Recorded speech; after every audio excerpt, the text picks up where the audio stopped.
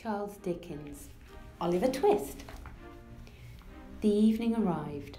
The boys took their places. The master, in his cook's uniform, stationed himself at the copper. His pauper assistants ranged themselves behind him. The gruel was served out, and a long grace was said over the short commons. The gruel disappeared. The boys whispered each other and winked to Oliver, while his next neighbours nudged him. Child as he was, he was desperate with hunger and reckless with misery. He rose from the table and advancing to the master, basin and spoon in hand, said, somewhat alarmed at his own temerity, Please, sir, I want some more.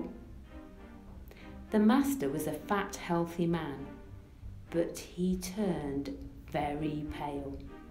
He gazed in stupefied astonishment on the small rebel and for some seconds and then clung for support to the copper. The assistants were paralysed with wonder, the boys with fear.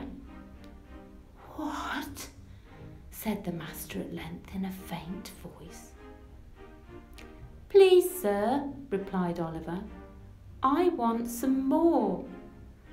The master aimed a blow at Oliver's head with the ladle, pinioned him in his arms, and shrieking aloud for the beadle. The board was sitting in solemn conclave when Mr. Bumble rushed into the room in great excitement and, addressing the gentleman in the high chair, said, Mr. Limbkins, I beg your pardon, sir. Oliver Twist has asked for more. There was a general start. Horror was depicted on every countenance. For more, said Mr. Limbkins. Compose yourself, Bumble, and answer me distinctly. Do I understand that he asked for more after he had eaten the supper allocated by the dietary?